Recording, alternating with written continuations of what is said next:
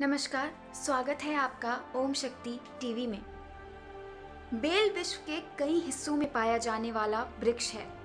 धार्मिक दृष्टि से महत्वपूर्ण होने के कारण इसे मंदिरों के पास लगाया जाता है।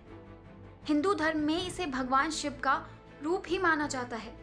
वह मान्यता है कि इसके मूल यानी जड़ में महादेव का वास है, तथा इनके तीन पत्तों को जो एक साथ होते हैं, उन्हें त्रिदेव का स्वरूप मानते हैं।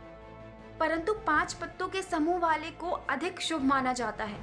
अतः ये पूज्य होता है। धर्म ग्रंथों में भी इसका उल्लेख मिलता है।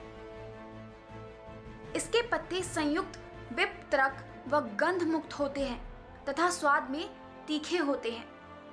हम आपको बता दें, बेल वृक्ष के आसपास सांप नहीं आते। अगर किसी की सब यात्रा बिल्व वृक्ष की छाया से होकर गुजरे तो उसका मोक्ष हो जाता है। वायुमंडल में व्याप्त अशुद्धियों को सोखने की क्षमता सबसे ज़्यादा बेल वृक्ष में होती है। चार, पाँच छ या सात पत्तों वाले बेल पत्रक पाने वाला परम भाग्यशाली और शिव को अपहरण करने से अनंत गुना फल मिलता है। बेल वृक्ष को काटने से वंश का नाश होता है और बेल वृक्ष लगाने से वंश में वृद्धि होती है। सुबह शाम बेल वृक्ष के दर्शन मात्र से पापों का नाश हो जाता है। बेल वृक्ष और सफ़ेद आग को जोड़े से लगाने पर अटूट लक्ष्मी की प्राप्ति होती है। बेलपत्र और ताम्र धातु के एक विशेष प्रयोग से ऋषि मुनि स्वर्ण धातु का उत्पादन करते हैं। जीवन में सिर्फ़ एक बार और वो भी यदि भूल से भी शिवलिंग पर बेलपत्र चढ़ा दिया तो भी आपके सारे पाप धुल जाते हैं।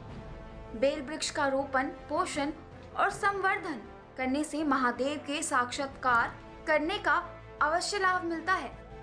देश, दुनिया और धर्म की इसी प्रकार की खबरों के लिए जुड़े रहें हमारे साथ। देखते रहें Om Shakti TV, like, subscribe, share and comment करना बिल्कुल ना भूलें।